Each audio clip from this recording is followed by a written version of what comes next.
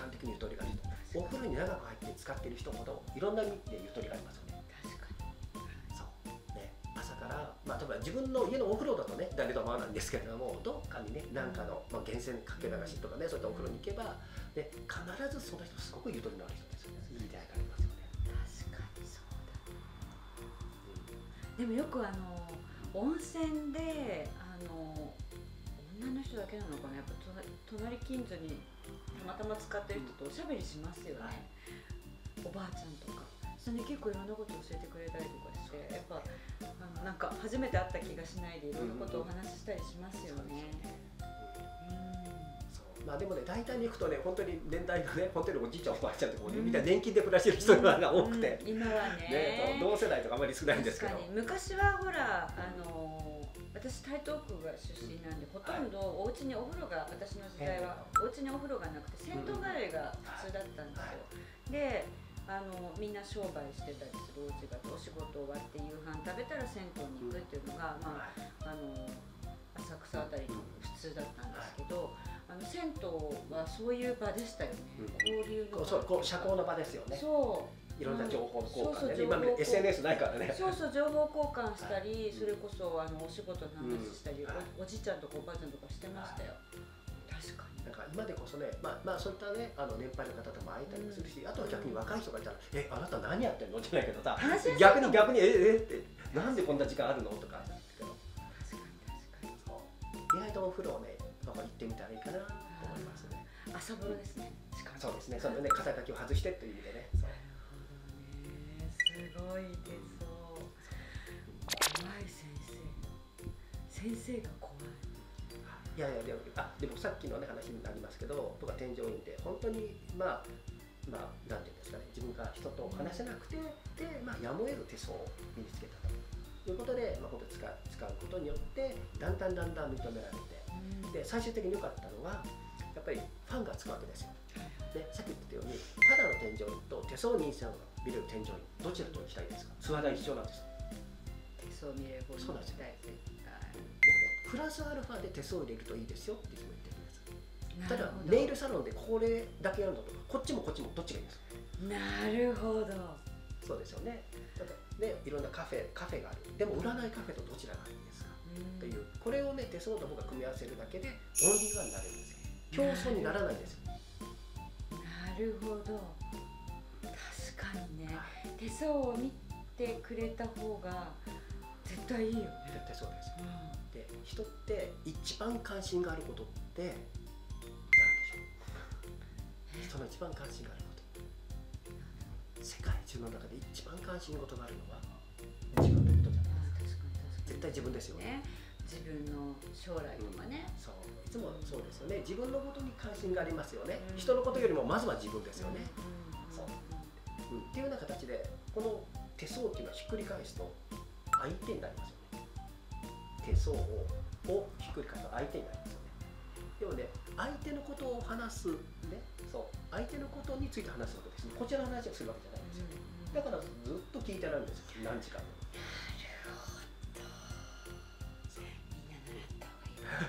それでもさ、うん。やっぱコミュニケーションの一つにもなるし対客様のことを思うっていうかそうなんですよ。ねあのいいことですよねとっても。ね、その鑑定を通じてその方と信頼関係が築けるし短時間でできるのと、あとは手相のセットで必ず困りごと悩み事それから望みとか夢を話してくるんですよ。あ。これをしたいんだけどね今こういうことで悩んでてねとか、そう悩み事も切るじゃないですか。これがニーズを知れることなんですよ。うんこれ結構すごくないですか？すごい。家が欲しいんだけどねうん。車を買い替えたいんだけどうね、ん。とかねいろいろ結婚したいんだけどいろいろ相談受けますよこのニーズがすごい情報ですよ。確かに。確かに。でしかも解決してあげられる場合もありますもんね。そうですよね。結婚線あるから結婚できますよとかね、あとはね、まあ、それはできるしあとはいろんなところに触れますよね。この方家を欲しいですよってあこういう不動産屋さんいますよそうででどこに行くかわかんないんだったら僕の知り合いのちゃんとね不動産を間違いない選び方を書いてる本の人がいるからよかったらここで買ってみたらとかいろいろ。循環してるわ手相から始まってね、そう。仲良くなれるし、まあ、初対面の方によくいいわけね初対面のうん、確かにだから人見知りの人に。とってすっごく有効なんですよ僕ねあの前ねパーティーそういうとこ行った時に僕出禁になっちゃったんですよ何回か。わかります？出禁になっちゃうんですよ。あ先生のところに全部人が行っちゃうんでしょそうそうあ素晴らしいですね。そう。そんな気がする。最初の頃生徒さんいないから、ねうん。ちょっとあの、ねまあ、始めた経験またで話しますけど、うん。最初生徒さんいないから、うどうやって生徒さん、ね、作ろうかなと思って、そん。ないろんなパーティーってまずは知り合うことだと思って、ん。でで必ず名刺交換すると、ね、名刺に手相ニーズって書いてあると必ず手が出てくるわけじゃない。ねうんうん。ここまで話聞いちゃったら「ちょっと先生いいですか?」ってやりたくなるよね。でで必ず仕事聞かれるし「え手相見れるの?」って手が出てくる、うん。ね、そうすると一人見ると次の人もまたいるんですよ。そうだよ。ね次もいるんですよ。永遠に手が出てくるんですよ。昔あのちょっとせ先生の方が多分私より若いんだと思うんですけど、私たちが若い時ビジネス交流会みたいなのはいはいってたくさんあったじゃないですか、はいあのねあのビジネス交流会やに行ってい。ろんなイベントでお客さんと出会うみたいな、はい私も昔ねやっぱり行きましたけど、はい。ああいうところに先生みたいな人がいたらその主催してる人はちょっとあの引くよね。何の会だっけみたいな。そう結局それがねよくまあそれがね、まあ、ちょっと男女のっぽいのもあるわけですよそのうんねそのパーティーがあって、うんうんでまあ、そうするとみんな来るじゃないですか、うん。来るの男性だと思います。女性ばっかり来るのさ。ほんと女性に囲まれるでしょ。他の男性どう思います？確かもう妬み嫉妬であいつ気に食わないってなるんですよるほど。男の人も怖いもんね。そうそういう嫉妬になるからだだからもうそれでいけなくなったりもしました。もうあもう本当にあの来てくれるの嬉しいんですけどってことで集中しちゃうんで。でもやっぱり見てもらいたくなっちゃうよね。こんな話聞くとさ聞いたことない話ばっかりだし、でまあ、そうやってだから僕はツールとして、うん。ねあのまあ、ここに書いてあるのは最強のコミュニケーションツールですよってことで。だから僕もまあもちろん手相の方が書いてあります。だけれども生徒さんたちが生徒さんたちは占い師はいないんですよ一人も。みんな何かのお仕事を持ちながらやってます。あ本当だ。ここに書いてある。みんな美容系病院とか。ね、この人は美容の院長先生、へー。この人は企業社長さんとか。この人はあの今政治家ですね。あね。あ本当だ。手相占いの人いない。いないんですよ。皆さんがいろんなお仕事に組み合わせるとオンリーワンになりますよとなるほど。まあ、自分が、まあ、はっきり言うとで本当首すれすれの添乗員でした。もう首と言われた人間です。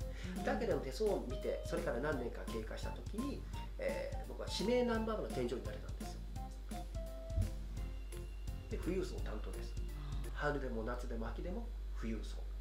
あすいません。はい富裕層ね気づかなかったわちょっとすいませんねということで、なるほどねでまあ本当に豪華客船乗らせていただいたりだとか本当にねもう世界のいろんなところにあのまあまあね皆さんもある程度結果出てる方ですもうセミリタイアリタイアしてる方とお友達になれてそのうちに遊びにおいでとかねそのうちの会社で働きなよと給料いくら出すからとか、ね、そのうちの娘と会ってとかうちに養子に来てよとか、へえね、まあじゃあそれこそ人生変わっちゃったわけですね。うですそうです。真逆これはすごいなと思った。中で。も普通さそういう先生ってさ、うん。あそういう先生って独り占めしないところが先生のいいとこで、うん。どんどん撒いちゃうじゃないですかそのはい。知知識っていうか。はい。それなかなかやっぱりこうできないことですよね。これはだって僕はだから手相手相うをなんていうかな教えてるんじゃなくてどんどんつながりなさいよっていうそのツールでやってるから、うん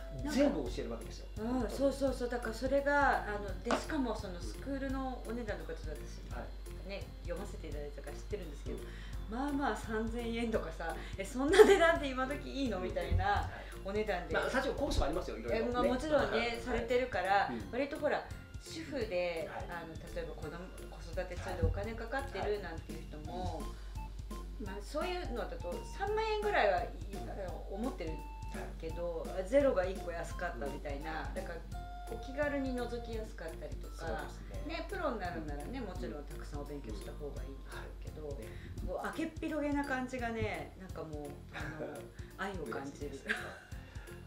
なんか使ってほしいですね。でその人生にねすごくや、まあ、必ず人と誰とつながるかで運が変わるじゃないですか、うん。誰とやっぱりついてる人についてた方がついてる人はついてる人がついてるようにでやっぱりそういうついてる人と関わった方がいいし、うん。ねまあ、それ自分は見極めもできるし、うそういうツールとして、うん、使ったらいいよっていう、ね、自分で努力するのもいいんだけれどもそれだけじゃなくてそうだね。こういったツールを持ってると、ね。使えば使うほど返ってくるんで僕はツールの恩返しでツールだけに、ツールの恩ね返しツールのですね。しで手相がもしも例えばあの災難っていうか例えば事故に遭うとか、うん。病気をするとかそういったことも出ると思うんですけど、そういうのも出た場合になんか改善策あ気をつけるっていうことができるからやっぱ知った方がいいんですかね？っていうかあのまあ多分ねいろいろしてると思うんですけれども、要は災難が来るその必要なことなんですなるほど。無駄なことは来ないんですよ。で頑張ってれば頑張ってる人とやってきますから。私昨日の先生がフェイスブックや昨日か一昨日書いてた文章がね本当にねいいこと書いて先生本出した方がいいよそういう本とか。あのキラキラ輝いてる人はっていうね。ね。あのたくさん苦労してる人なんだっていうようなことをねあの書かれてて、まあ、まさにそういうことですよね。災難。なるほどね。これね災難は本当にまあね、まあ、そのね現場ではやっぱ辛いですよ。うん。でそれは辛いと思うし。だけれども、うん、やっぱりそれががやっぱりないと気づか気づかないですよね。うん、確中途半端だと。塗る前だと分かんないじゃないですか、かに、はい。うん、なんかそれで気づかせてピンチとチャンスの扉は紙一重で。こちらから見ればピンチ。でもこちらから見ればチャンスなんですよ同じ一枚の板なんですけどどちらに立ってるかだけの話なんです。同じもの同じものだけど見えた面が違ってこっちにピンチに見える。もう周りにはもうピンチピンチピンチピンチってあるんででも実はこっちをふ裏側を見てみるとあれチャンスなんですよこれ、確かに。確かに。うん。なるほどね。じゃあそういうのが見えたからってこう何？あの私の人生は大変だ人生の筋トレみたいな負荷がかかった時にねその筋トレができるんで同じものとかねそれまで全然余裕できると思うけど。じゃあ先生が見た中でそういうのがあった時教えわ教えてあげるんですか？ここにうん大変なことあると思うけどうそうそうそう。あそうだね。これからね3年後ね。あそんな細かくわかんの？ね、3年後にね大チャンス来るよって。ものすごい今までないようなチャンスあこれ本当のことなんだけど。ね怖い。ね怖い。なんだけど。ね。怖い。同じこと言われた。ダニーさんに。それでねその時にちょっと都合悪いことそれが合図だ都合悪いことが起きる。でもそれはセットなんですよ。そう。必ずね必ずこういうふうな形になってるんで運気ってこう、うん、なのでその上がる時というのは必ずちょっと都合悪いことが起きます私ねそごあの3年同じこと言われたことがあるんです、去年。でその人は、まあ、表には出てない女性の超霊能者っていう感じの方なんですけど、でそこから始まってそのまた4年後がちょっと本番だからね、うんみたいな。で何言ってるか全然わかんないわけですよ。え ただまあ子供の大学は子供の大学も終わるからまたさらにね、うん今もう家にないけど独立してさらにちょっと時間が効くから、まあその時に考えようと思ってたんですけど、でもいいいいことの？前兆だと。ああ悪いことはね。そうそう悪いことじゃないんです。セットなんですセあなセットなんですそれ。陰陽みたいな。そうそうそう。悪いことじゃないでもそれもセットです。空腹だからお腹いっぱい食べたいとかね。その一緒で。お腹いっぱいでお腹食べても全然幸せじゃない。じゃあ逆になんかこう3年後に、えーって思うことがあった時が、あの合図だと思ってくはい来たるわけですね来た。あ来た来た来た。と喜んででもできることはそれまであの僕はやっぱりその、まあ、人脈いい人脈っていうか、ね、いい波動を持った方と、ね、仲間でいるだとか、うんまあ、より感謝をしてだとか、うん。なんかそれがそれはどこに出てたんですか？この手相でいうところの。皆さんあるはい、さっき年齢をちょっと聞聞けたんで、ね。はいであどこにいるかが分かったんで。あじゃあそれはみんなみんななんていうのそういうことも出てる。誰でも。そうそうそうなくてもなくても作れるんです。あとどうしても災難が嫌だったらとにかく、うんまあなんていうんですかね、うんまあ、常に感謝をして、うん、何かあの何寄付をしたりだとか、うん。うん、なんかいろいろボランティアしたりだとか、ね、そうそうすることで、まあ、多少ね、うん、回避はできますけど、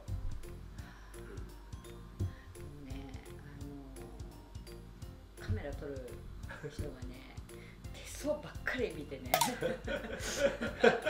まあでもねのこうこういうふうに前のめりになっちゃうね先生のお話ね。先生普段はあのなんていうのあの福島だと会津とかでも時々こ合図、まあ、基本的に僕毎月行ってるんですよ。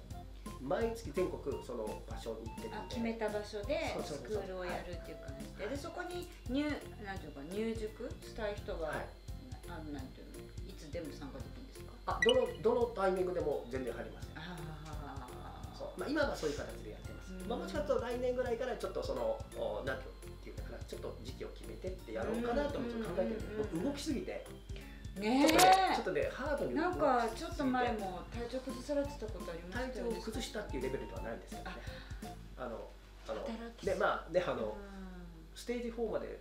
肺がんのステージ4まで行ってもうもうもうもうもう余命まで宣告されて嘘そうなんですえすちょっと前ですよね、うんそうちょっと前ですそんなこと書いてありました書いて書いてありますよいや私読み飛ばしてた調子が悪くて良くなったんだっていうところだけは読んだんですけど、はいえそう、まあ、今年はちょっといろんなことを体験させていただいてちょっと頑張りすぎたなとあと真面目すぎたなって言ってそう真面目なお人柄はね、あのそばに寄ると非常によくわかります。そうなので、優しすぎるんではないでしょうか。うん。ねなんか、まあ、そういうことでちょっとあんまり動きすぎだよねっていうのがあって、うん。えそれでもうあの良くなられたんですか？今はね寛解という寛解？寛解って何？まあ、大体あ。治ってきて。もうもうもうもうほとんど消えてるああよかった。で完全に治ったっていうのはないんですあんまり要はこういうのって。いつのなのかわかんないけど、うんうん今はもうほとんど消えてる状態。まあだってねあのお役割がある方って結構人生苦労されるじゃないですか。ねなんかいろんなこういろんな人のいろんな人生を救わなきゃいけないからこそねあのいろんななんていうのかな三次元的に言うところのネガティブな体験っていうのはお役割がある人はねそうですね。だから本当に感謝してます本当にねこのステージ4を体験できたおかげで本当に感謝できるようになったし本当に見る感謝が分かったし共感力もすごい違うし、うーん。あと、まあ、いろんな意味で本当に人のお役に立てるだとかいろんな助けることもいろんな知知恵もいただいたし情報も得られたし大丈夫だよって全然もうそんな感じですよ。がん。なんて2人に1人になっちゃうし別にそんなこの自分の心構え一つだしちゃんときちんとした情報を持ってあったら全然大丈夫だよ。お金もかかんない。僕お金全然かかってないですよへえ